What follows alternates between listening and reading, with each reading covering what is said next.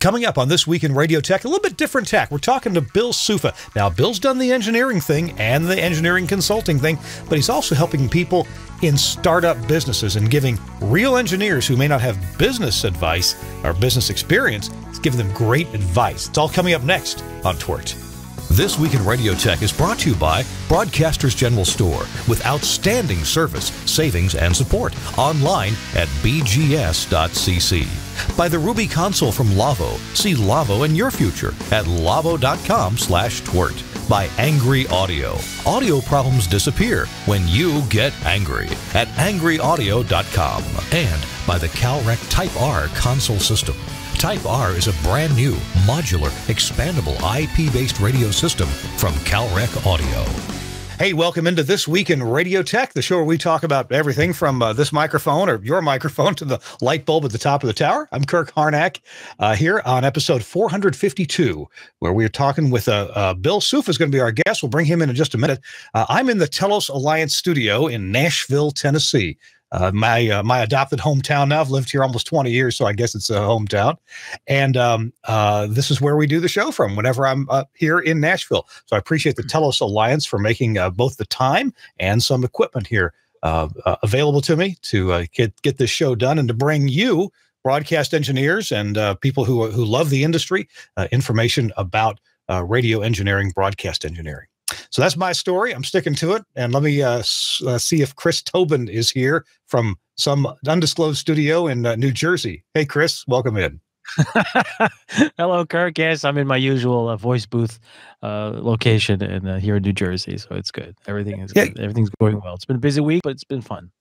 Chris, I you know I don't mean to embarrass you in the least, but I have got to. We have got to get some uh, uh, apparel because that thing just more does the more effect so I bad.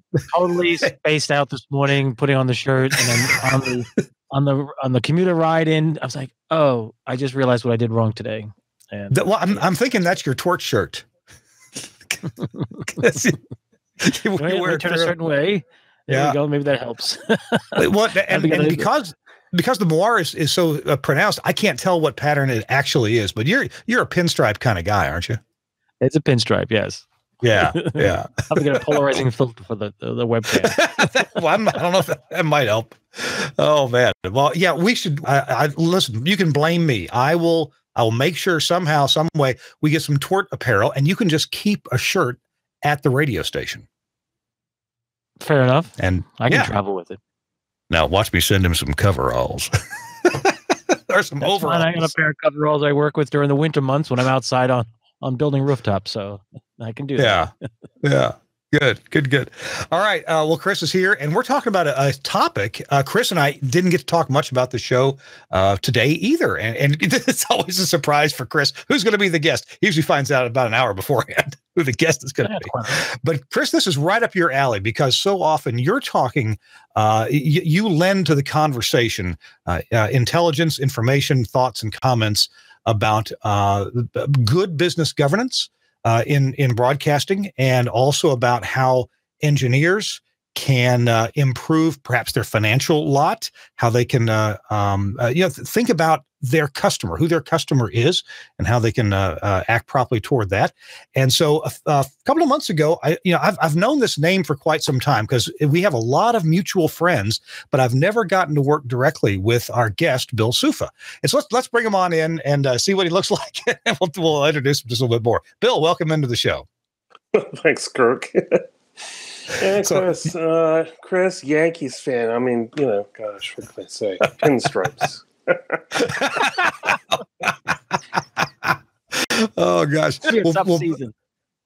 Turns out, uh, turns out, Bill and I know a lot of the same people, and Bill has been in broadcasting and broadcast engineering consulting for a long time. But Bill, you do other things as well. And I, what turned me on to you, Bill, was some comments you made on on some Facebook posts, and I thought this guy gets it, man. I, I, I don't, I'm not sure who he is. I've heard his name, but he's making the most salient, intelligent, sensible comments on some posts that I don't, I don't know if they're controversial or not, but uh, you just made a lot of sense, Bill. So tell me, why did I get that impression from you? Because you missed the snark. Um, I don't know. um, So, so look, my, my, my background right now, I'm doing some independent consulting, mostly in business, um, working with companies that want to improve their lot, working on strategy, working a lot with startup companies. Um, prior to this, I had a startup company. I worked for Raytheon on, um, you know, monetizing. What do we call it? Monetizing intellectual property and, and working on M and A stuff. Um, basically, that means trying to make some money from the patents on the patent side and um, doing doing M and A deals um, and getting to know the technology that we had a whole lot. Um, another startup before that in the yeah, we'll call it global risk management space, and um, ran capital the capital budgets for Clear Channel globally. Um, got to know a lot of the guys there really well in both the well in all the divisions, radio, TV at the time, radio, TV, outdoor entertainment, and um, spent some time in the consulting business, uh, working for Jules Cohen, and then later um, started a firm with Carl Lahm and Gary Cavell, and um, you know, of course, as these things go, professional services firm went through some machinations. Um, Richard. Uh, uh, Richard Mertz joined us later. Um, oh yeah, sure. Mm-hmm. Um, and then um, and and of course you know got to know the people in that business pretty well, and started really started my career out um, working as a field guy for the Federal Communications Commission, field engineer in New York, um, ah, and you mm-hmm. know if that if that if that doesn't teach you about um, dealing with people, I don't know what will. That's a part of your career I didn't know about, but I'm, i want to know more. But tell you what, we're going to take our first break and be back. Uh, Bill Suffa is our guest. Chris Tobin's along. I'm Kirk Harnack. I want to ask a little bit about that field engineering. I don't know if the statute of limitations run out yet. If he can talk about uh, anything uh, in his adventures there, and then we're. Uh, I just. I'll tell you what. I'm, i will save this for after the break because we I've got some uh, cool application for what uh, I think uh, I think Bill can uh, can help with. Uh, this week in Radio Tech is brought to you in part by our friends at Broadcasters General Store, and uh, this week our equipment sponsor on our on BGS is from the Henry Sportscaster. Sportscaster is the sports broadcast audio control system. It's an audio control system that is for managing the audio portion of a sporting event, radio, or video broadcast. Now, when used with the Henry Engineering Sports Pods, and those are cool uh, just on their own, uh, Sportscaster creates an integrated system that includes all the essential audio functions, including audio mixing, of course. That's you know, first thing that it does for the for on the air or for a webcast or for a video cast. It also has headphone audio management, and it's important that people hear the right things and, and distribution, and off-air intercommunication. That is intercom between the different people who are participating in the sports broadcast, including a producer. You know, if, if you bring somebody like Suncast along, our producer, to your sporting event, uh, then the then the producer can participate right along with everybody else in the headphone mix. Now, Sportscaster is a one box solution that's comprehensive yet intuitive and easy to use. Now, by integrating all the functions into one device, uh, the Sportscaster eliminates the need for multiple mixers, distribution systems, headphone amps, intercoms, power supplies, and all that complicated wiring to connect them together. It's all in the same box. Sportscast provides all these essential functions in a compact 1RU package. Uh, a few of those functions that we normally don't cover, the camera operators have their own headphones output. So yeah, you got video along with your show, no problem. The camera operators hear what the producer's saying, and they can also hear the, the program material itself, so they know where, where to point that camera. Uh, it has a field reporter headphone output. It has a headphone mix for the field reporter and the camera operators, party line intercom between the producer, the talent, and the field reporter, and talkback from the producer to the camera operators. Plus, it has inputs for a crowd mic or a PA announcer. Sometimes you want to bring that PA announcer in to hear the, you know, the official side of the story. Well, you can do that too. It even has a Q bus to audition auxiliary sources and a main program output, of course, that goes to your on-air, uh, you know, whatever kind of uh, codec or whatever your system is for getting things, uh, the audio back to your radio station, or for streaming. Maybe you can even bring the stream encoder right there on site with you. So uh, this is a very cool box. Uh, the Sportscaster from Henry Engineering, along with the Sports Pods, uh, really do create a, an effective system. Uh, hey, it's it's uh, it's not too early. It's not too late. Pick one of these up. Add it to your sports production package, and you're going to find the level of your sports production goes way up when everybody can hear everybody else, and it just works out really well. Now, where can you order one of these? Well, you, of course, you can order from uh, our friends at Broadcasters General Store. We appreciate BGS for sponsoring this week in Radio Tech.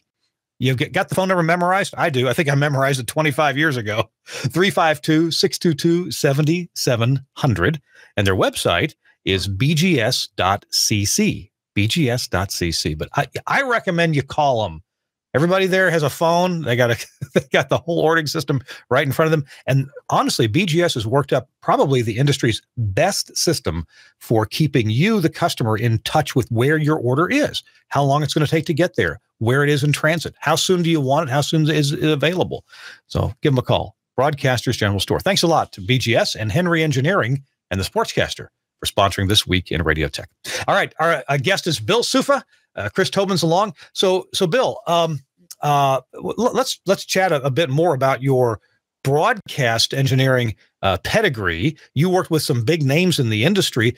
Uh, what what kind of engineering were you doing, or were you just there? Were you there primarily on the business consulting side to help these engineering firms, uh, uh, you know, make a make a profit, move along? No, it was you know I I did engineering for a long time, and um, um, did, did a lot of AM directional arrays. I mean, back then, I don't have a beard, but it would be great if I did. Um, worked on a number of AM arrays, worked on some FM, some, um, you know, Docket 8090 stuff. Um, spent, spent a fair amount of time working on some, some stuff for the industry which would mm-hmm. include the the FAA electromagnetic compatibility, the basically interference to airplane radios from FM radio.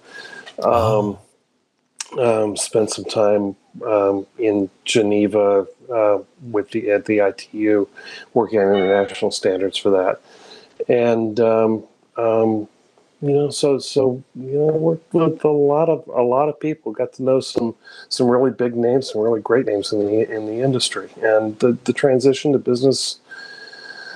You know, I, I the background was with the commission with Jules Cohen. Um, worked on mm-hmm. a lot of a lot of stuff. Jules Jules, one of the the, the great names in the industry, um, and and joined Carl and and Gary, um, both really great engineers.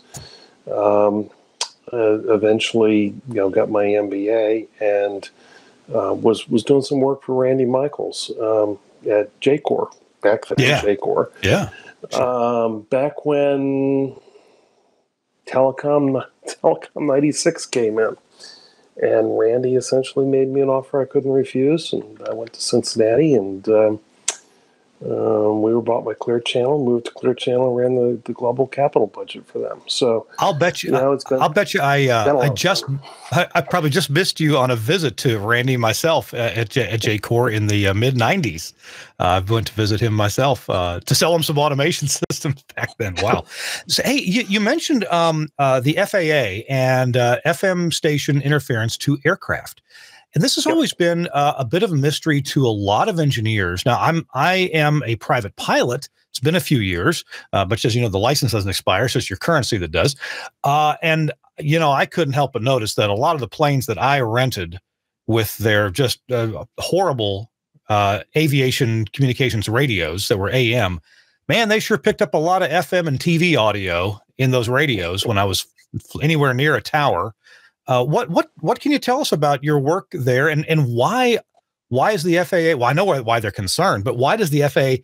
Why is the technology such that the FAA has to be so concerned about FM interference to aviation radios? Well, you know, some, and, and, and admittedly, Kirk, I, I, too am a pilot. Um, I've got my commercial ticket. Um, sold plane a couple of years ago, uh, but still, you know, I, I need to get currency back, but that's a different story. Um, so look at look at the frequency allocation. So you you got the FM band that runs up to 108, and then right above 108 starts the navigation radio band, mm, um, and right. then and then com communications is above that. Um, so, and, and, it's particularly an issue in, in major metro areas where there are limited frequencies. So the ILS systems, of course, operate right above the FM band. Um, the, the the localizer in particular, the, the glide slopes higher frequency, generally not a problem. Um, and then in some cases, VOR.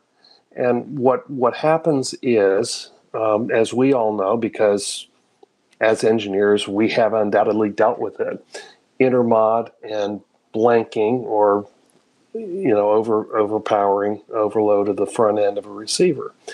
Um, if you fly into Dallas and you fly by Cedar Hill, if you fly into parts of Houston and you go by the FM towers down there, if you go into New York City where everything's on top of everything else, um, what can happen is you can you can get blanking, you can get intermod either in the receiver or or in those rare cases coming out of the transmitter. It's generally not coming out of the transmitter. It's generally a receiver yeah. issue. Um, and you talked about the older radios when I was doing working on that stuff, which would be pre ninety six. Um, what we found was even some of the more expensive receivers, even some of the stuff in airliners, um, had an issue because, well, you know, they, they didn't they, they didn't make front ends really to reject the 100 kilowatt FM station, 200 kilohertz below the the ILS. So, um, you know, it, it, it gets to be a problem if you're flying by the tower. And the FAA was, was absolutely adamant. In fact, you know, um, RTCA, Radio uh, Technical Commission for Aeronautics, um, equally had a problem of putting filters in the lines because generally it's one antenna connector, and you know if it's you might take something else out. So it, it, it became an issue. It led to the FAA developing some airspace analysis programs. Um, it led, led to some international standards. Now, admittedly, with the growth of GPS, the growth of um, the, the growth growth of precision GPS, differential mm-hmm. GPS, um, this is less of an issue because all those are at different frequencies.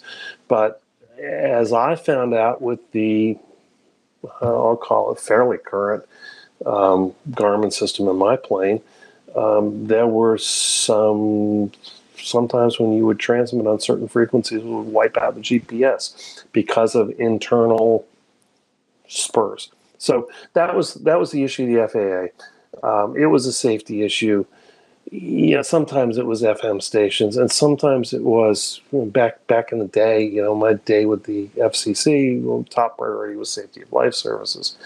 Um, I remember flying in a Huey over Long Island with the doors open, um, trying to track where a signal was coming from, and in the end, we tracked it down to um, an FM converter in a car that was self oscillating. Oh, um, we we tracked down TV amplifiers that would go into self oscillation when cable came in, and all they did was to snip off the snip off the wires on the back of the TV, 300 yeah. ohm coax, re-radiating back into the antenna. You know, anyway, so that was that was the big concern, and it's it's still a concern. It's less so with the GPS approaches, but it's still a concern. That brings up well, wow. One final question on on the aviation related stuff um, with the huge popularity of GPS and precision approaches, will there come a time when uh, the FAA is is not very concerned or becomes completely unconcerned or eventually decommissions uh, the ILS approaches that use frequencies, you know, 108, 109, 110, 111 uh, megahertz just above the FM band. W- will that ever go away? No, I no? don't think so. Um, okay. A, it's it's an international standard. Um, oh, yeah. Some of them may go away if if they can't flight check them, if they can't certify them. Some of the smaller airports or relievers, it might go away. But but just like they're doing with the VOR system, where they're decommissioning a number of VORs, um, they're still living it back. And the, the reason for that is that GPS is fragile.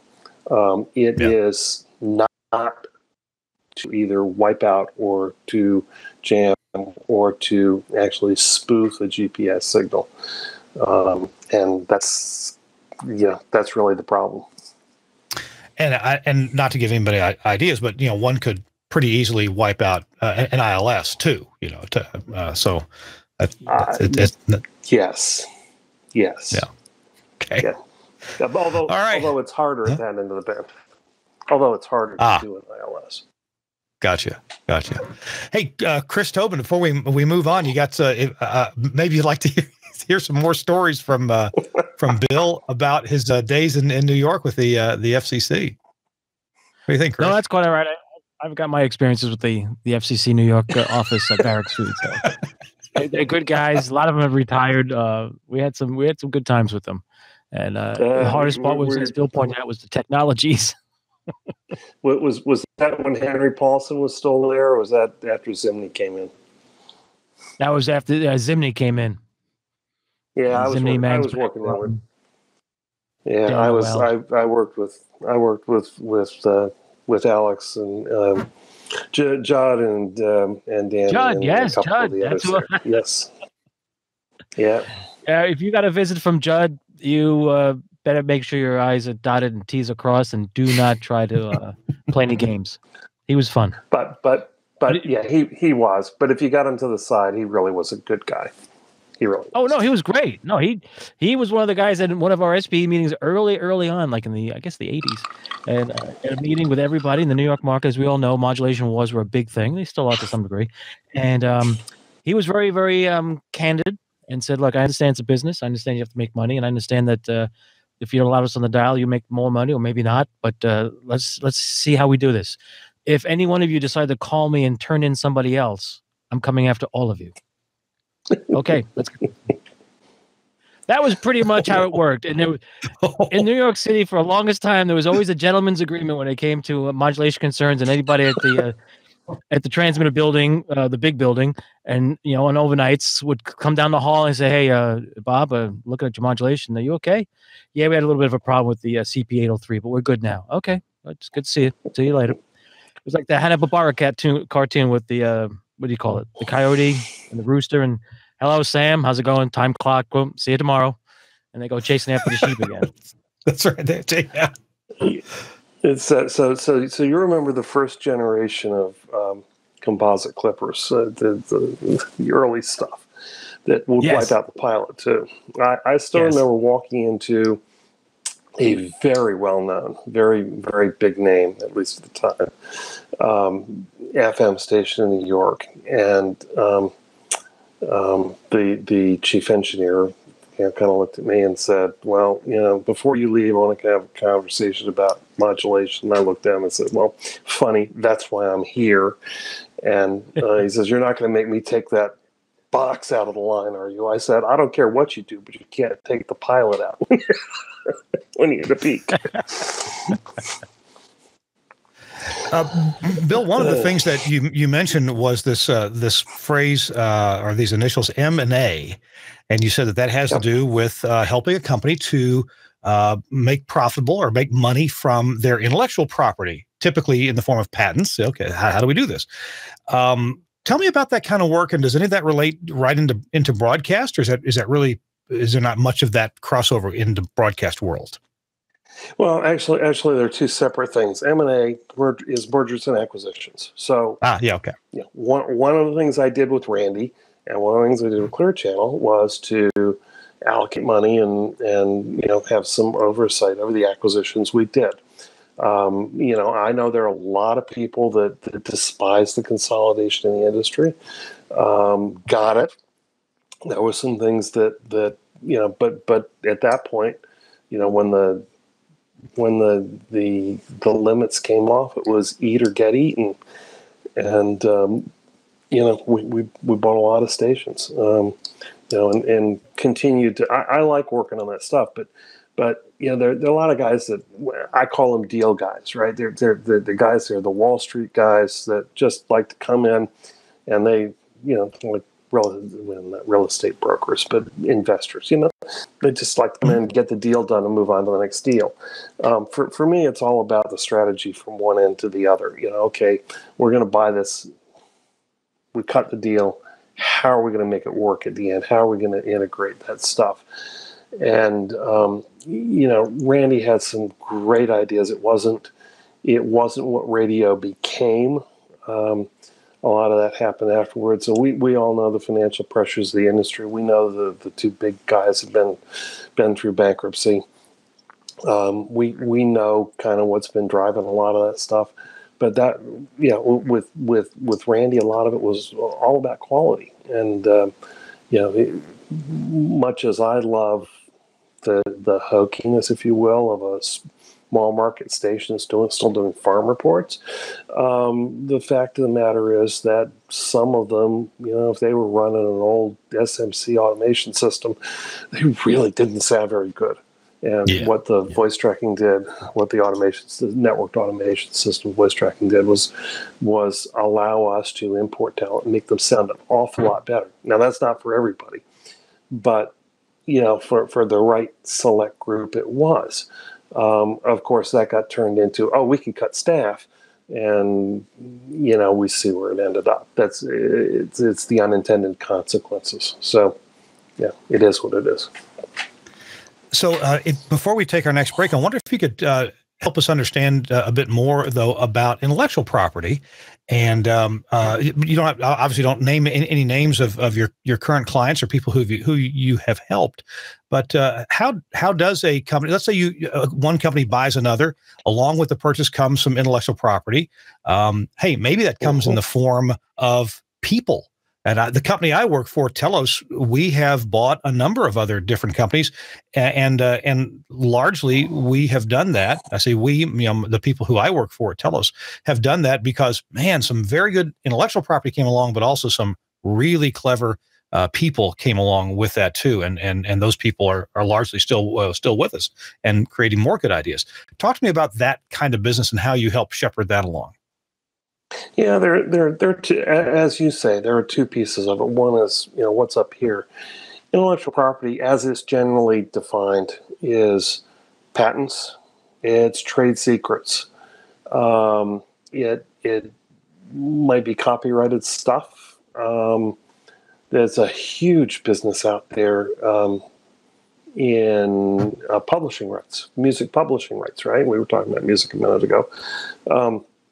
Music publishing rights. That's intellectual property. You know, it's it's something tangible. It's got it's an asset, and um, what what you know that that has a value to it, and it comes with you know radio stations. So it might be the logo, it might be the format, it might be you know in in the case of my you know big defense company employer um, this whole you know trove of patents, um, and and those have value in part to um, you know some of them were defensive, some of them were to protect the thing, some of them were to gain monetization down the road.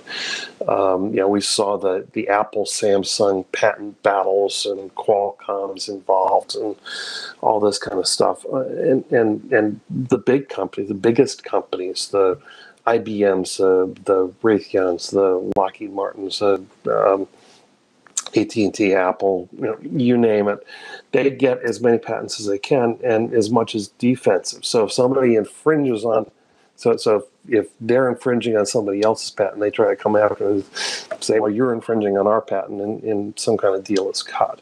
So that's generally what intellectual property means. Um, you know, from the radio business side, most of its formats, it's um, it's logos, it's content, it might be internally produced programming, original programming. Um, th- there's a whole bunch of stuff that falls into that copyright intellectual property thing. Um, and and you know from from your business from from Telos, they're they're going to have a lot of patents. They're going to have trade secrets, which basically, which are often better than patents because you don't have to disclose anything about it. Um, oh yeah, and and in the the case of the one of the more recent groups, startup companies I've been working with, the one I went through the NSF I-Corps program with, um, they've they've got a patent, but They've also got some trade secrets, the know how of how to make that patent actually work. So mm. I know the patent's requirement is reduced to practice. Okay, fine. you can reduce it to practice, but sometimes it takes a little know-how to actually make it work, and that's the secret sauce, and that's that's a trade secret. Um, the the Coca Cola. Oh, looks like we lost uh, lost a good connection with uh, Bill for the moment.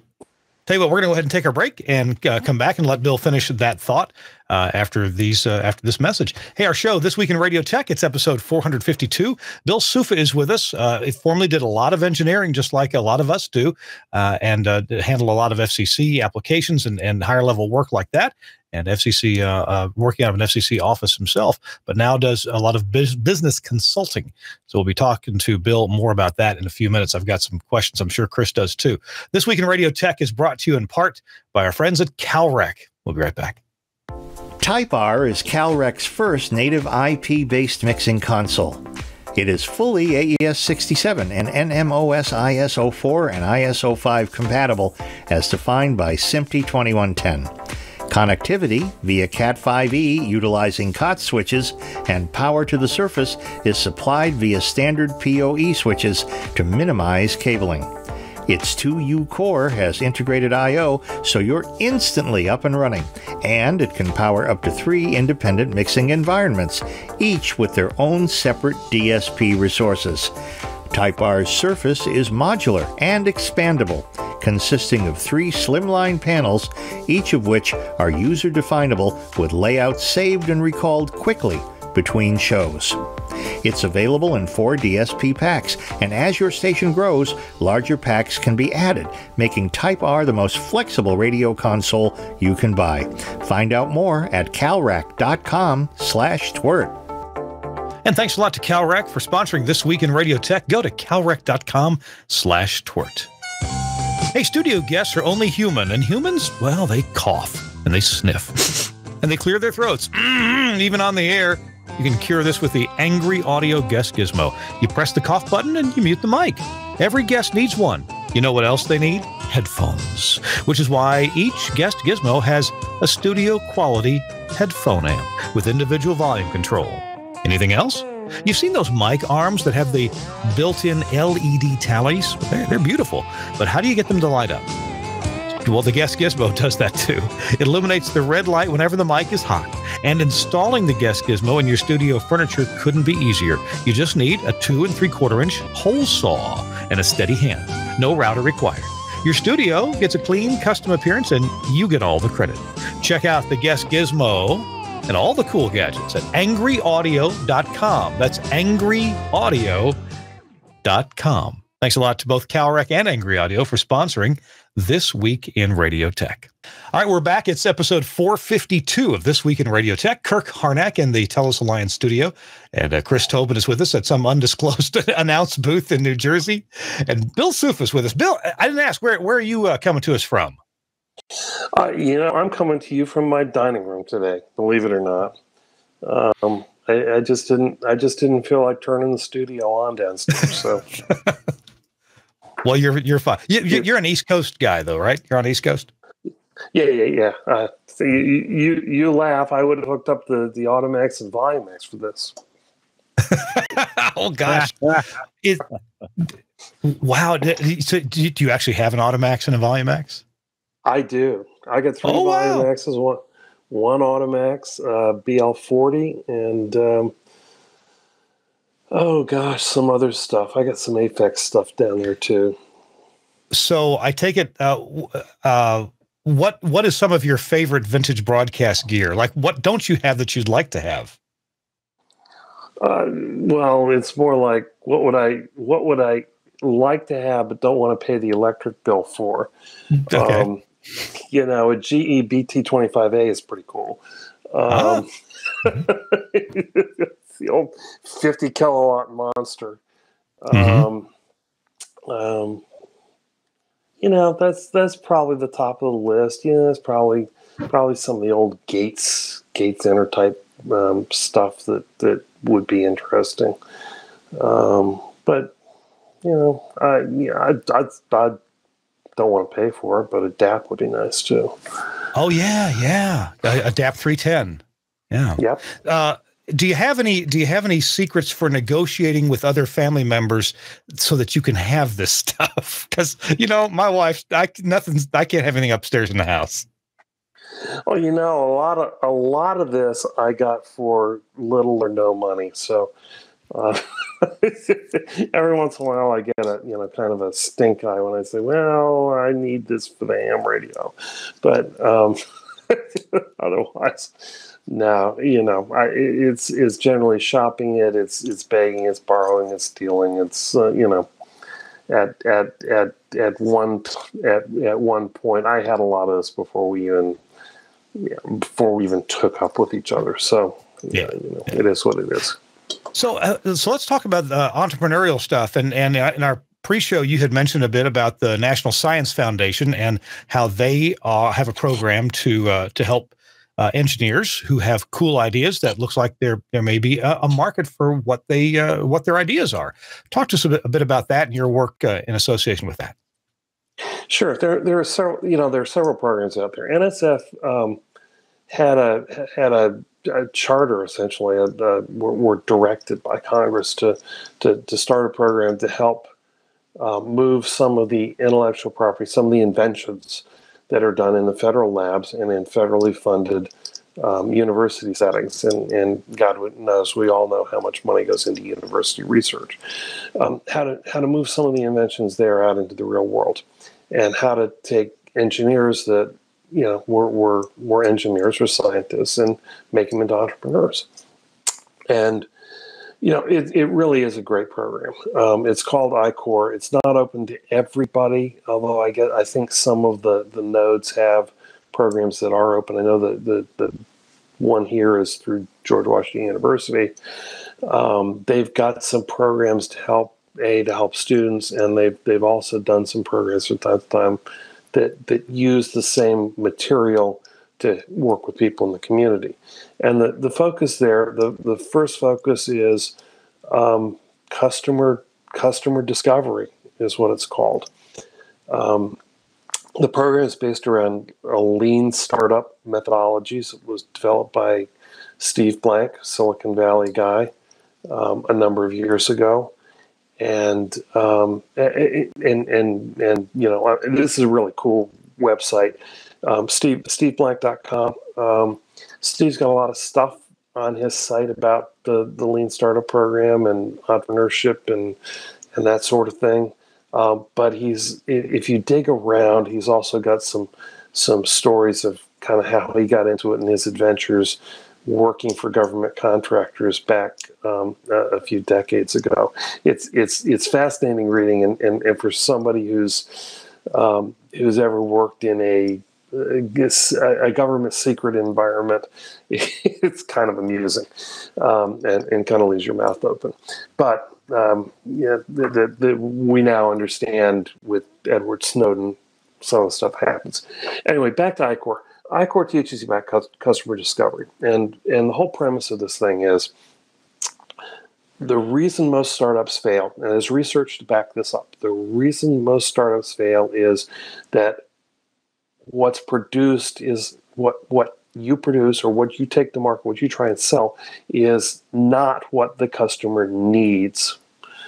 Doesn't meet the customer needs. So the, the whole concept here of the lean startup is let's let's find a business model that meets the customer needs. So uh, you know, if I'm working on a really cool particle separator, for example, uses laser light particle separation well, who's going to need that? What do they need it to do? Um, you know, a, a, need might be in the pollution monitoring area, or it might be in the um, QC line of a drug company, or it might be uh, looking for impurities in chemical processes. Um, so the, the whole program is um, scientific based. Put up a hypothesis, go out and test the hypothesis by talking to customers. What do they need? How do they buy? How much are they willing to pay? And the, the, the whole goal here is before you spend a lot of money spinning up a startup, starting a company, all that kind of thing, you're going to have to find out what the customer needs and not just what they want. You have to kind of sort through that. but what do they need? What what is their biggest problem? Um, great story that one of the instructors told.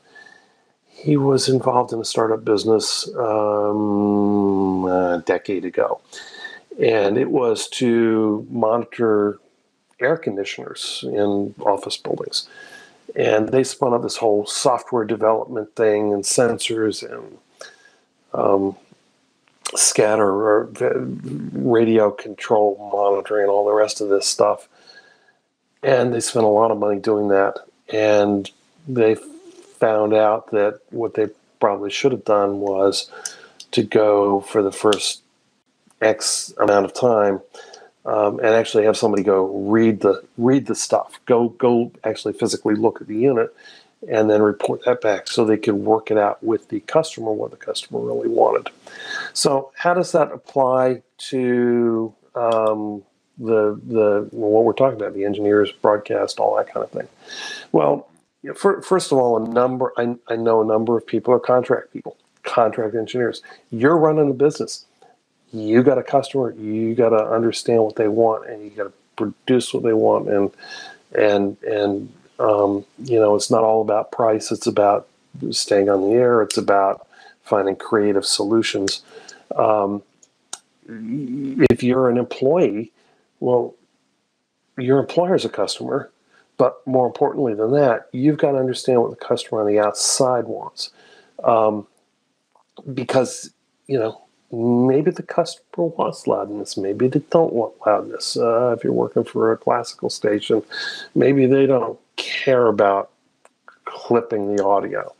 Um, maybe they want it to sound more pure. The, the, all these kinds of things come into play, um, and you really got to understand what your customer wants and, and the and the value that you can deliver to somebody else. Why would they want to buy your services if you're doing the same thing as everybody else? Why are they going to choose you over somebody else? Good point. that reminds me of a situation I was in as an employee of a company, and I used to treat in the engineering department the uh, departments I worked with, so you know, programming, marketing, and sales and everything, as customers to engineering, which I know at the time was very novel and still is a difficult pill to to swallow for some of the executives. And uh, I worked with a program director and one of my fellow colleagues in the engineering department to come up with some solutions for him. And one day he came to me and said, "Look, I've got the opportunity. I've told this story I think before. Got this opportunity to uh, to cover Justin Bieber at a bowling alley debuting his new album or a song. But here's what I need." And I said, "What?" Record label will give us this, this, and this if we can produce the following. Said, All right, that's an interesting thing. And you want to do it where? In the bowling alley. Mind you, this is in New York City. It's in Times Square. So it's not like a small venue. And I'm I now have to come up with a remote broadcast for a radio station in New York City at a bowling alley with Justin Bieber at the height of his career, you know, his his his whole thing, his career. And I'm like, wow, how do we do this? So I talking with a buddy of mine, we're, we're I'm saying, well, who's who's benefiting? I said to the program director, I said, who benefits? What what's the goal here? You got to give me the bigger picture. I, Justin Bieber, I get. I need to know more because the audience doesn't care if they can't be there to play with him. So he explained, he goes, Look, if we can do this, the record label will give us four more artists over the next six months in Times Square, Rockefeller Center, Battery Park, Central Park. So I'm like, All right, I get it.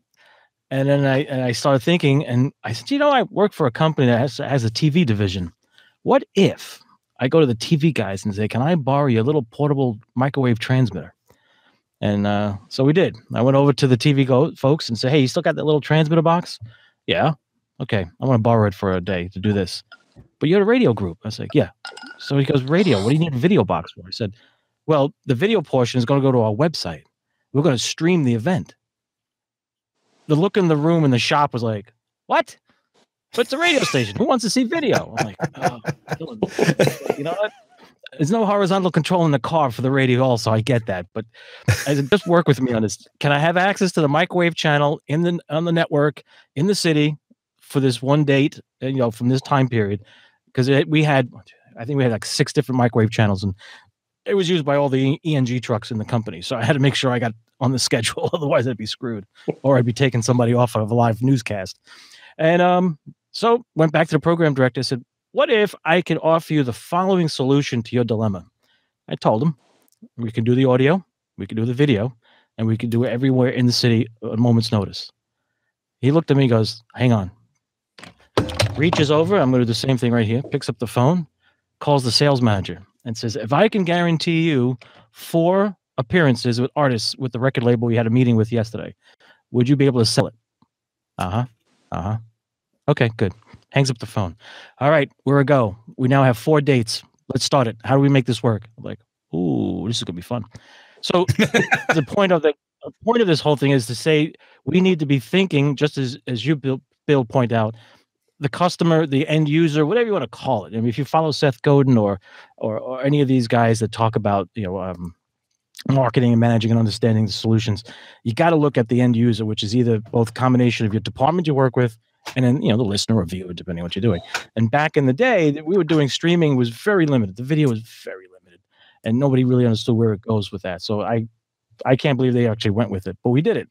So we put this little lunchbox device in the window at the bowling alley. I ran the video cable and audio to our spot, shot the video. I went back to our our TOC, put it up on our uh, network internally, uh, the the microwave. We snapped the you know grabbed the video and audio, put it to the website, and the FM audio went to the studio for standard remote as if we were using a Marti or an ISDN or whatever, and uh, we did it. And the funny thing was, we got to move around because I also left out the fact that I borrowed a wireless camera.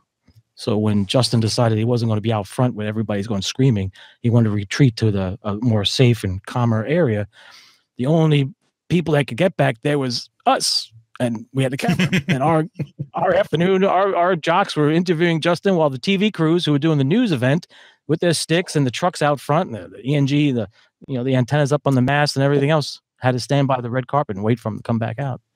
So, uh, needless to say, after that, we got a lot of calls in the engineering office about we'd like to do something from a boat on the Hudson. What do you think? I'm like, okay, you know, we want to we want to do something from a moving vehicle. You know, it's like, all right, I get it, I get it, but to Bill's point, these are things that made us money and made it work. And you know, the ratings in return came, the listeners went up, sale. I mean, you know, it, that's what you do. That's how you survive. Or and you can have non-traditional uh, businesses take over your your market, and you're, you're exactly. screwed. The thing you did absolutely right out of that is is that you asked the question: "Give me the bigger picture. What does this really mean? How does this essentially? How does this make us money? How, what do you need?" and um, you know going back to the sales manager all that stuff that's that's exactly what we're talking about and and that's the the kind of thing we do in the startup area you take engineers uh, and, and you know, look i'm my undergraduate degree was engineering i get it i've been one um, I, I still got the pe license um, the the fact of the matter is many engineers, and I've I've been, dealt with a lot of them, don't like to talk to the customer. Don't like to talk to you know. It, there are any number that would like to sit in their their little hole. In fact, one that I worked with was was kind of like, well, I don't want to be CEO of the company. Um, I want to do my thing. Well, yeah, but you're the guy that understands the technology. You got to go out and talk to the customer. This NSF program over a five week period makes people go out and do 100 in person, face to face customer interviews, potential customer interviews. It's pretty intense. And sometimes the findings are jaw dropping. I've seen people just completely turn their business model, what they thought was their business model going in, turn it over completely. Uh, I've seen a couple of people give up and said, you know what? this is a no go. This is, we can't find anybody who who, who wants to use the use use the technology we've got. But you know what? It, it, in in a sense, that means the program was a success because this guy didn't go, and it was a guy. This guy did not go raise ten million dollars to start up a business, go spend it, go burn all that cash, and find out that nobody's gonna gonna buy anything anyway. So, mm. you know, that's that that the whole goal is efficient use of capital, and um, you know, that was one of the things I did at Clear Channel, and it's one of the things I love doing now. It's uh, it's time for us to actually to take our last break, and uh, when we come back, we're going to look for a tip of the week. And and Bill promised me he'd, he'd have something cool. So I think we've gotten some good wisdom here and uh, and and good thoughts. I, I, actually had a couple more questions, but we're going to be out of time here pretty soon. So let's take our, our last break, and we'll be right back with uh, me and Chris and Bill Suffa with our tips of the week. There has probably never been a better time in history to buy a new radio mixing console. Today's consoles are more sophisticated than ever, with more features and functions than you can shake a stick at. But have you noticed how complicated they are? There's a sea of knobs and switches and displays and buttons. Some of them look like you might need a pilot's license to do your show.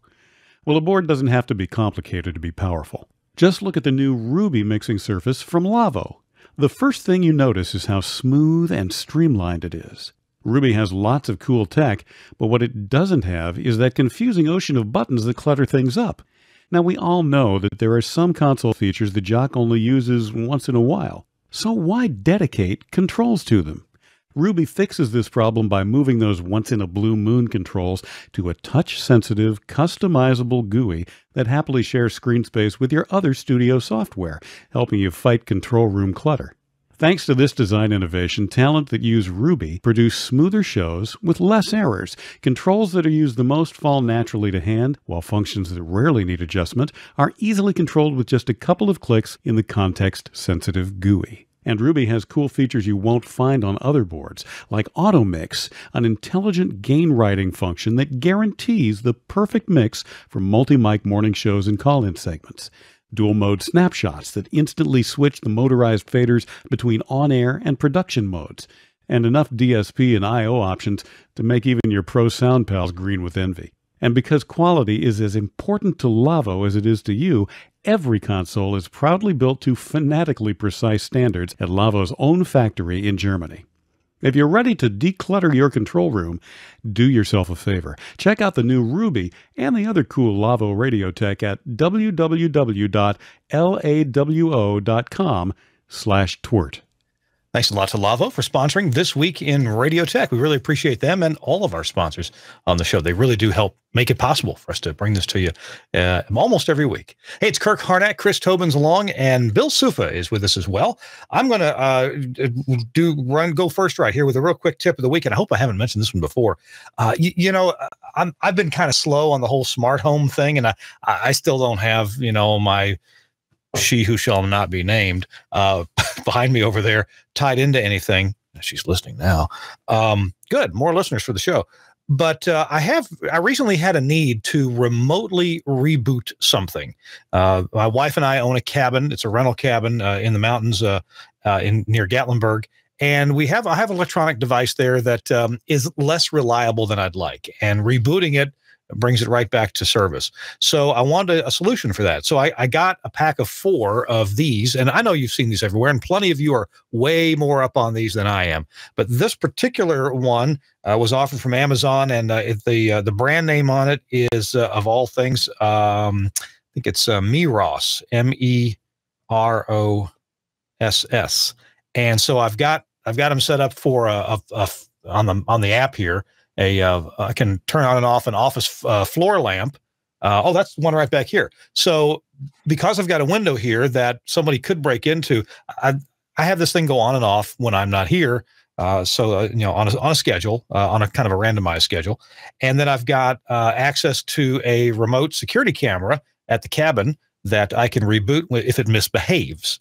It hasn't misbehaved in a long time, but it was at first, so I put that in. And I'm kind of looking for a couple more uses for uh, for these. These were cheap. Uh, they were seven dollars a piece in a pack of four, so uh, they were uh, under thirty bucks for four of them. So that was pretty cool, and I'm I'm liking it. I haven't got them tied into anything else. They they they these can tie into if this then that, um, and they can tie into your your uh, you know your home um, Google Home thing or uh, she who shall not be named.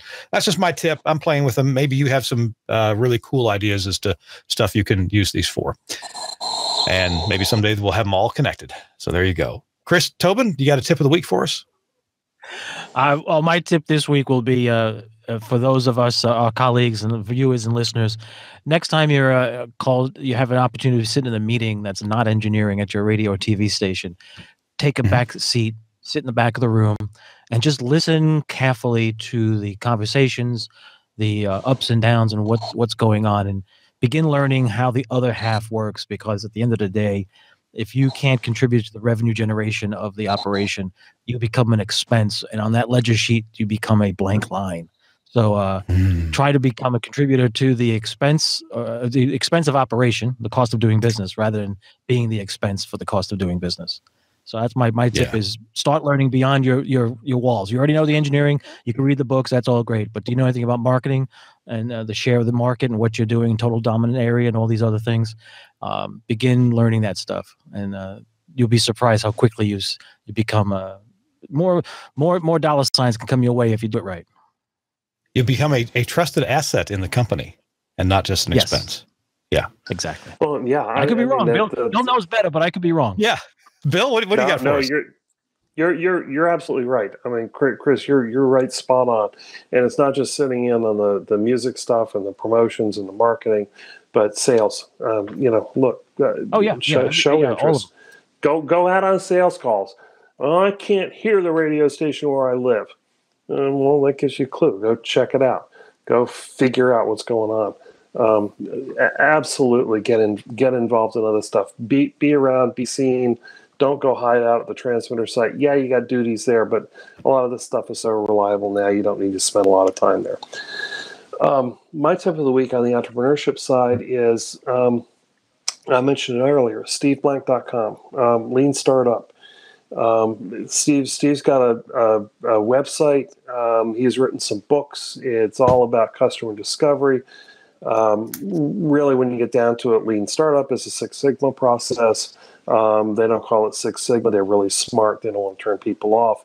But ultimately, that's you know kind of the, kind of the underlying basis. Um, uh, SteveBlank.com and and and and actually for for a little bit of amusement, go in there and, and look at the.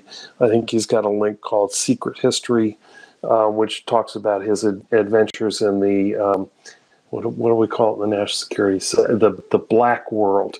Um, it's, it's it's it's very fascinating it's very interesting. Um, but but again you know the, the the the premise is you want to be understand how business works all of how business works and you got to get out of your shell.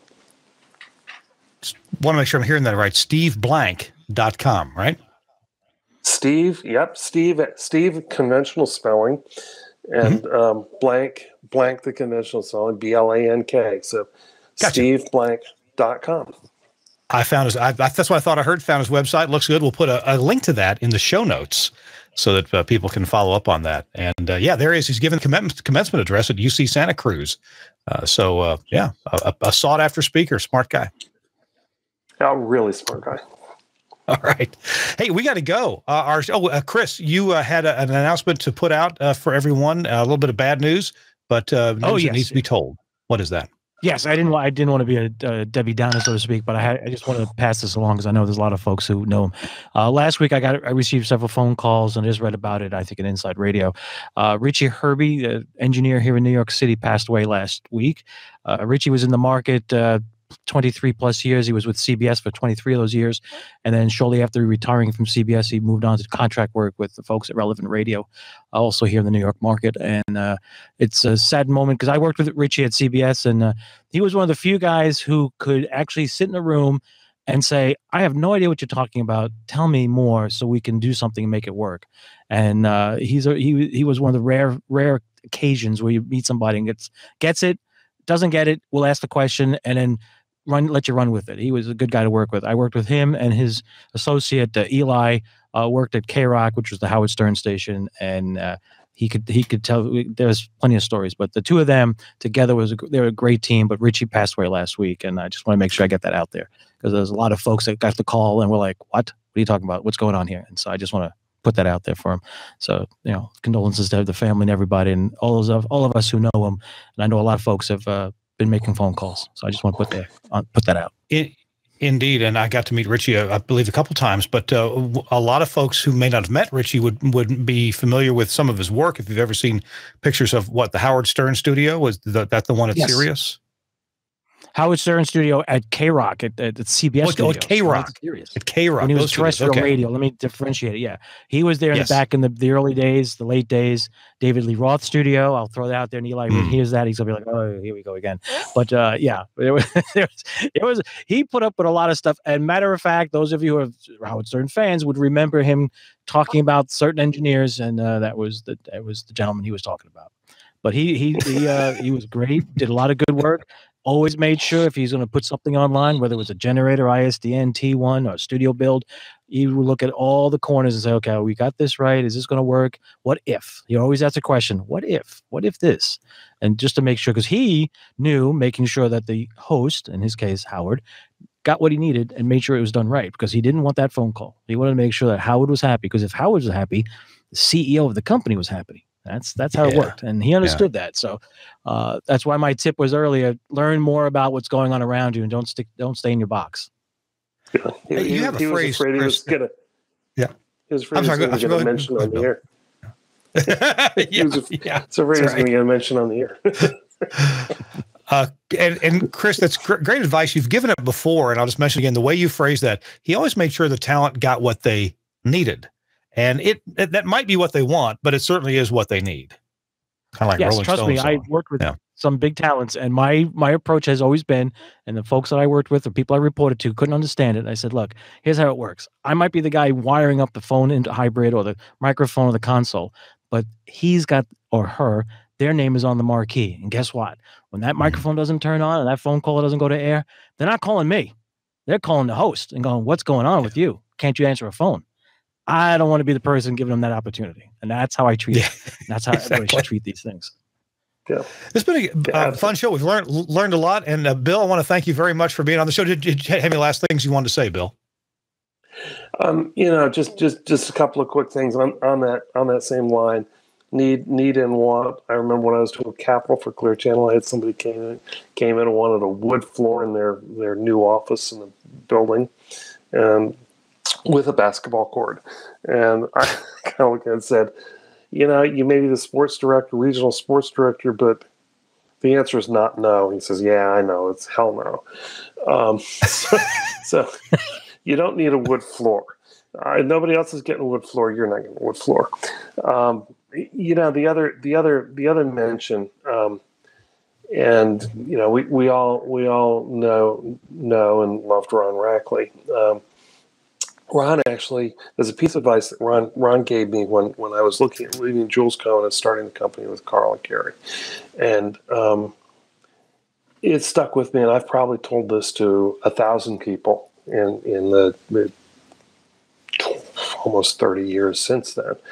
Um, Ron said to me, you know, he says, I, I can't tell you what to do.